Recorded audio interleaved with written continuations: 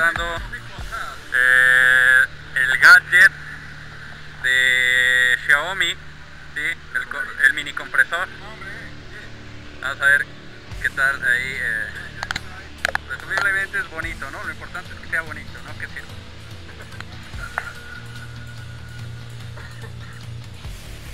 marca